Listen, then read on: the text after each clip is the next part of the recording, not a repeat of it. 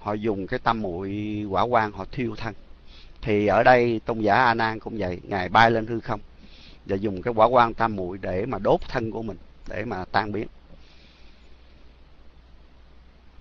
Cũng như quý vị thấy rằng khi đức uh, bổn sư thích ca mâu ni phật khi mà ngài đã nhập niết bàn thì tất cả những cái người lo phận sự mà để mà quả thiêu ngài đem cái lửa thế gian lại đốt đốt không cháy. Đốt không cháy.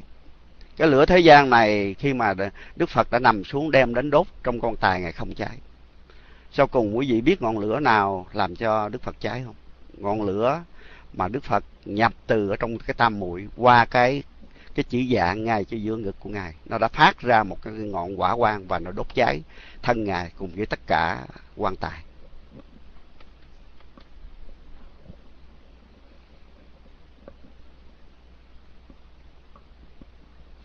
Bây giờ thì thầy xin trở lại cái phần kinh văn của duy Ma Cật. Thầy mời thiền sĩ Chân Thiền lên đọc tiếp phần kinh văn.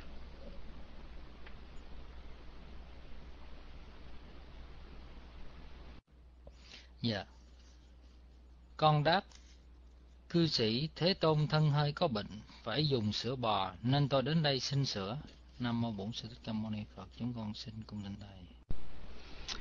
Nam mô Bổn Sư Thích Ca Mâu Ni Phật. Về cái phần kinh văn này thì à, thiền sĩ chân thiền lúc trước đã đọc về cái phần mà Đức Phật cho gọi A Nan. Thì bây giờ nói về phần Đức Phật cho gọi thị giả A Nan và bảo đi thăm bệnh của cư sĩ Di Ma Cật, thì tôn giả A Nan từ chối. Bây giờ đặt câu hỏi tại sao tôn giả A Nan lại từ chối? Bởi vì trước kia khi mà Đức Thế Tôn lâm bệnh thì các vị y sĩ đều khuyên Đức Phật nên dùng sữa bò để mà phục hồi sức khỏe. Bây giờ thì Ngài A Nan là thị giả, nên sau khi nghe các y sĩ luận bàn như thế thì Ngài A Nan sáng hôm sau đã dội đắp cà sa mang y bát vào trong cái thành khất thực. Bây giờ nói về cái phương pháp khất thực. Người xưa trong cái tăng đoàn của Đức Phật đó, hầu hết là các các tăng sĩ đều phải đi khất thực cái tập tục của người Ấn Độ thời bấy giờ đó, những cái vị nào mà gọi là tăng sĩ mà không đi khất thực thì họ không có sự kính trọng. Ngoại trừ những vị tăng sĩ đó nằm bệnh thì có thể là à, những vị tăng sĩ khác khi mà về lấy cái khẩu phần của mình chia ra. Chứ còn nếu mà tất cả tăng sĩ đều được mạnh lành, đều phải đi khất thực. Phương pháp khắc thực của người thời bấy giờ thì cái người tu trong thời Đức Phật đó dùng phương pháp khất thực để làm gì? Không phải là vì thiếu ăn, thiếu mặc mà phải khất thực, mà dùng phương pháp khất thực để có cơ hội gần chúng sinh, để có duyên để cho chúng sinh tạo phước cúng dường. Quý vị nên nhớ chúng sinh thiếu phước rất nhiều. Ở thế giới này có những người rất là bỏng sẻn. Có những người họ chỉ sống ờ, cho họ và chưa bao giờ biết ờ, bố thí một cái một đồng tiền, một bát cơm. Do đó, Đức Phật thấy rằng những người này họ yếu phước như vậy, sợ sanh đời sau, họ sẽ lâm vào những cảnh khổ. Do đó, tất cả những chư A-la-hán đều được Đức Phật dạy bảo phải đi khất thực hết. Để chi? Để làm ruộng phước cho thế nhân. Quý vị nên nhớ cúng dường cho một bậc A-la-hán ruộng phước rất lớn quý vị thấy ở trong những cái kinh mà thí dụ về cái phước đức đó, cúng dường cho một cái người ăn mài, không bằng cúng dường cho một người cư sĩ. Cúng dường cho một người cư sĩ không bằng cúng dường cho một người tăng sĩ. Cúng dường cho một người tăng sĩ không bằng cúng dường cho cho một vị a la hán thành ra quý vị thấy rằng mình cúng dường, mà quý vị không hiểu công đức cúng dường nó uổng lắm cúng dường tức là mình gieo cái cái công đức phước đức.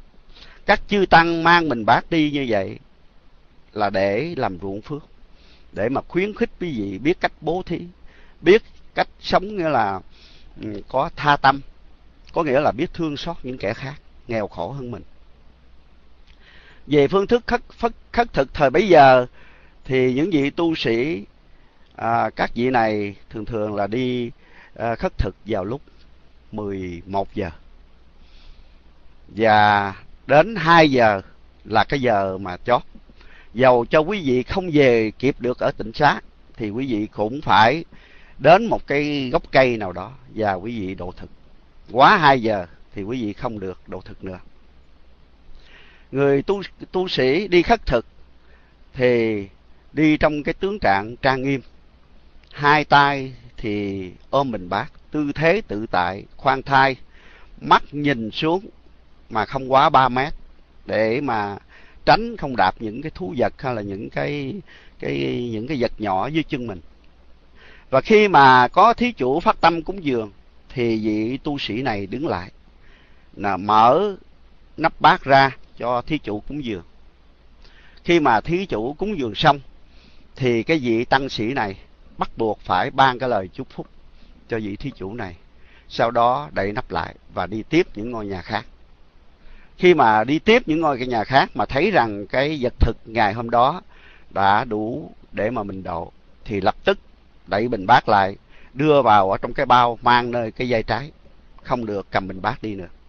Có nghĩa là quý vị thấy một vị tăng sĩ nào mà đưa bình bát vào ở trong cái cái đải sách của mình là tất nhiên là thực vật thực đã đầy đủ, vị đó không nhận nữa đó, đó là cách thức mà khất thực trong cái tăng đoàn của Đức Phật ừ, trong cái thời Ấn Độ.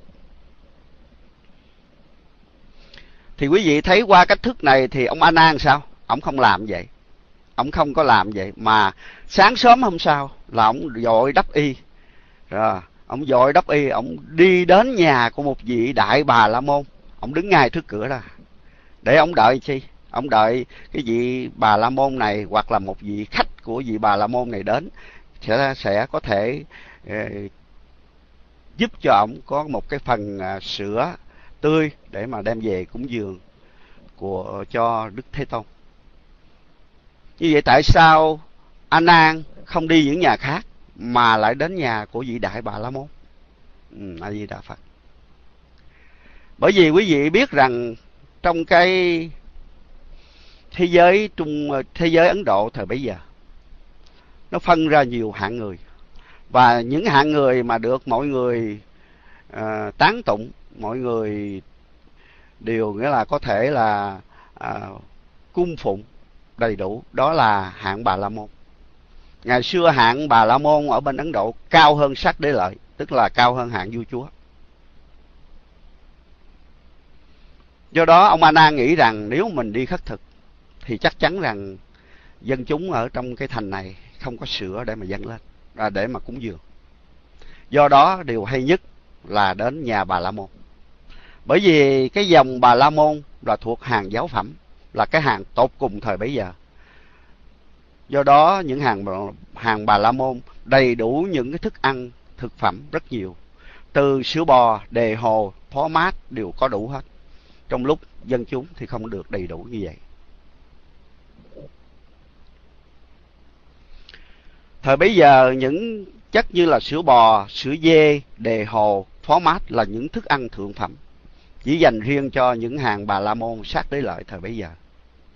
Do đó, thời bấy giờ mà muốn xin một bát sữa tươi rất là khó.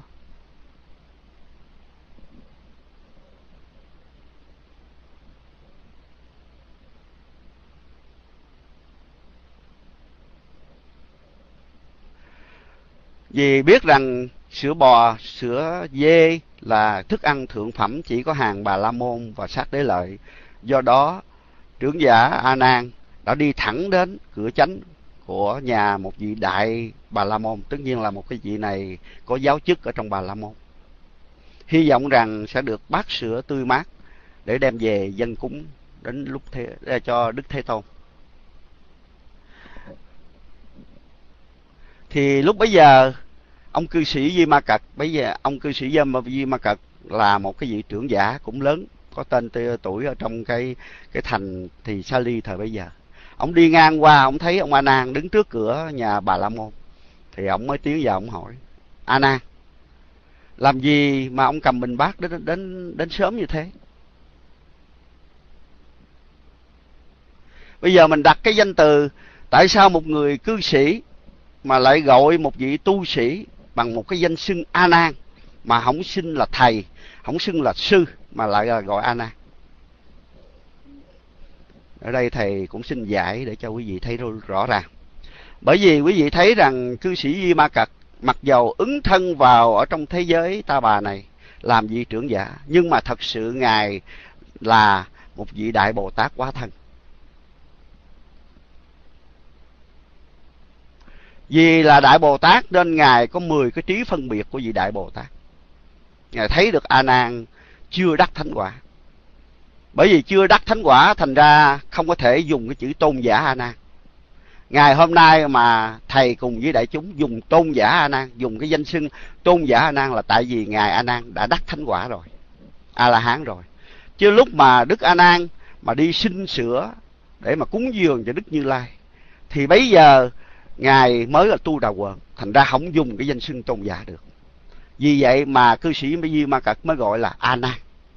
À, thầy nói để cho quý vị nghe để quý vị rõ. Bởi vì cái tôn giả là một cái danh xưng dùng để chỉ cho một vị tỳ kheo đã đắc cái được cái quả a la hán trong khi mà cư sĩ Di Ma Cật hỏi A Nan à, ông đứng đây cầm bát sớm như thế để làm gì? Thì thầy mong quý đại chúng nghe ông A Nan trả lời như sau. Thầy mời thiền sĩ chân hiền lên đọc phần kinh văn kế tiếp. Dạ. Yeah. ông Di Ma Cật nói, thôi thôi, ngài A Nan, chớ nói lời ấy. Thân Như Lai là thể kim cang, các ác đã dứt, các lành khắp nhóm, còn có bệnh gì, còn có não gì? Nam mô bổn sư thích ca mâu ni phật chúng con xin cùng thầy.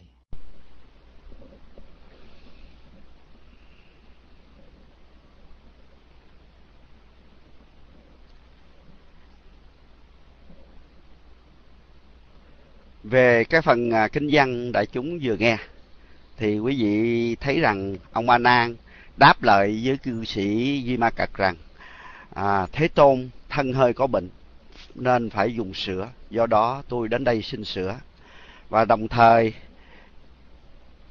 đồng thời cái đoạn kinh kế tiếp là ông Di Ma Cật, quở mắng ông A Tại sao ông Di Ma Cật quở mắng ông A A Di Đà Phật.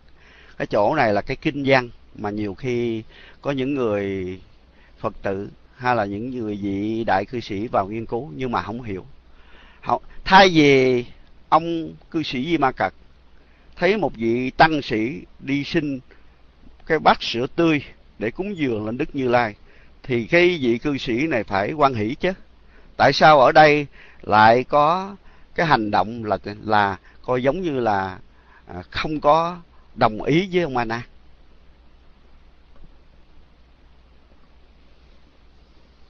Bởi vì quý vị vừa nghe cái đoạn kinh vừa rồi là thích chân thiền đã nói rằng à, thôi thôi ông đừng nói lời ấy bởi vì thân của phật là thân kim cang. Thân này làm gì có bệnh và có phiền não. À a di đà phật. Quý vị thấy cái đoạn kinh này rất là hay. Bởi vì đoạn kinh này ngài duy ma cật muốn dạy đến cho tất cả mọi người sau này. Biết rằng thân phật không phải có một phật thân mà có ba thân. Cái thân mà ngài Di Ma Cật nói, cái thân này là cái thân kim cang. Mà kim cang thân á, là tức là pháp thân, tức là pháp thân thanh tịnh. Bởi vì dùng chữ kim cang, có nghĩa là cái thân kim cang là bất sanh, bất diệt, bất cấu, bất tịnh. Và cái thân này thì không có cái việc gì mà có thể tiêu diệt được hết.